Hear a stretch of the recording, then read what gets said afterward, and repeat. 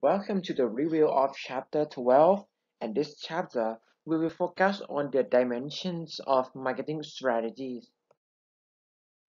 So as you know in the previous chapter we discussed about the concept of marketing.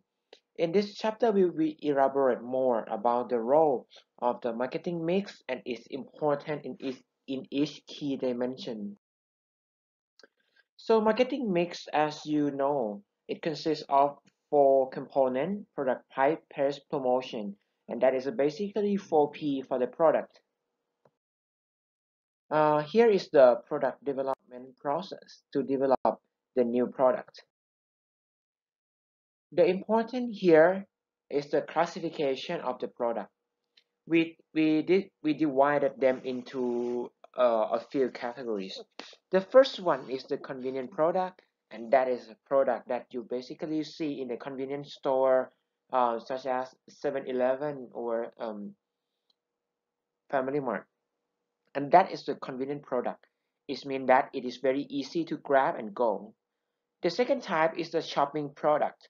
When you when you hear the word shopping you might go for some new clothes new shirt or some new bag. That is the shopping product.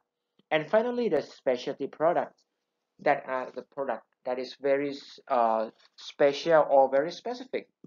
For example, you are the fan club of BNK48. That's why once the uh, BNK48 merchandise come, those fan club will buy that. So we call that specialty product. Then there are two keywords and then they are very important. The first one is the product line and here and the next one is the product mix. So product line is a group of closely related products. Later on, you will see an example of that. And then the product mix is mean all product that offered by the organization. So let's have a look on the Colgate Palmolive as an example. This company consists of four product line. The first product line is about oral care product, including toothpaste, Colgate Kids, and toothbrush. The second product line is the personal care product. The third product line is the home care product. And finally, the fourth one is the pet nutrition. So we would say that if you look at the Colgate Palmolive company, they have four product lines. All of them, they are the product mix for the company. So you must be able to describe product line and product mix. Then followed by the product life cycle. As we mentioned in class that uh, we divided the stages of the product into four stages. You introduce product to the market and then it's become a well-known product. So the sales volume grow up until they reach a peak and then they go to the maturity and decline stage. So product is the same as the people. We have a life cycle.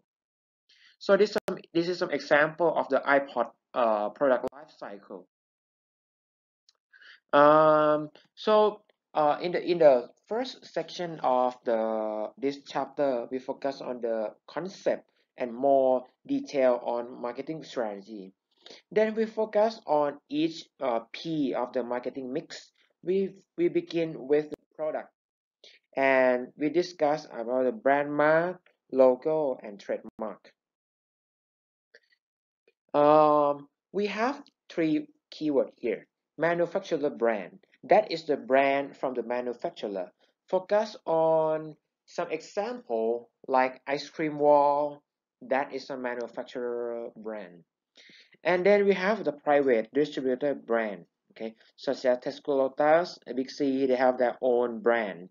And finally, the generic product. Those things are the product without brand such as rice, tomato, or fresh vegetable that you can buy in the fresh market. In terms of the product, it, it also concerned with the packaging, labeling, and product quality. Okay, this is the dimension of the product. So if you look at this cereal, basically they have a very nice packaging that is part of the product characteristic. Focusing on price, price is uh, actually one it is one of the key element for the marketing mix and it is dealing with the revenue um, we talk about distribution okay how you actually bring the product to the customers they have several uh, marketing channels such as the middleman, the one who act as the intermediary to bring your product to your customers. You have retailer, okay? They buy from the manufacturer and sell to the end user in a small lot. Um, we have the word direct marketing, okay? Uh, the use of non-personal media to communicate a product, okay? So they try to focus to each particular customers. And we have the word direct selling. Wholesaler is the one who buy product from the producer and sell to the retailer. They they won't deal directly with end user. So uh, supply chain management, they talk about the distribution or place. So to deliver some product to the customers, basically they have several intermediaries or several middlemen. If you have a look on the orange boxes here, they are all the middlemen. Uh, distribution, they focus on how to deliver the product to the customers, and they deal with several uh, logistic uh, facilities such as uh, warehousing, material handling. And finally, promotion.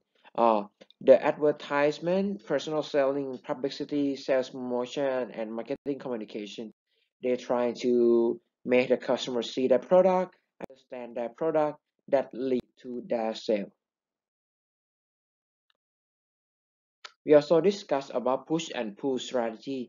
In terms of the push strategy, they try to uh, motivate intermediary to push the product to the customers.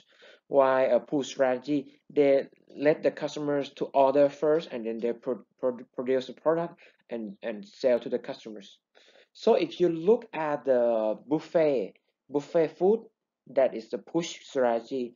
If you look at the a la carte, that is the pull strategy. Customers order and then the chef do that menu. So here is an example of the push and pull. Um, that is all about the review of this chapter. Please focus on the important topic and good luck for your final examination.